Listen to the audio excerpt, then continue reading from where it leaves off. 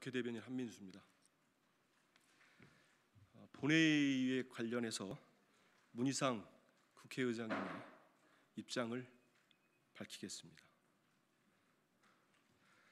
헌법 개정안 논의를 위한 국회 본회의 개의가 필요합니다.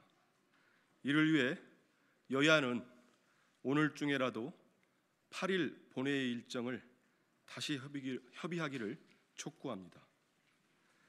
이번 헌법 개정안은 여야 의원 148명이 지난 3월 6일 발의한 것입니다. 3월 11일 공고됐으며 헌법에 따라 국회 의결 시한은 5월 9일까지입니다. 국회는 헌법 개정안이 공고된 날로부터 60일 이내에 의결하여야 하며 국회의 의결은 제적 의원의 3분의 2 이상의 찬성을 얻어야 합니다.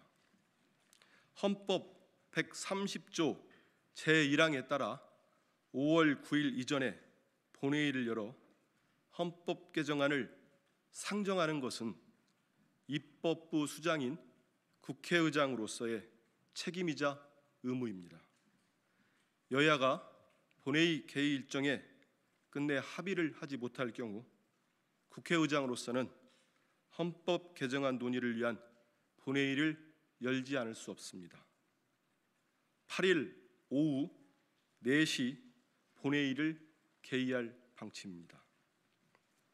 아울러 민생 법안 처리를 위한 본회의도 내주 중에 반드시 열려야 합니다. 이를 위한 여야 교섭단체 간의 협의를 강력히 촉구합니다. 이상입니다.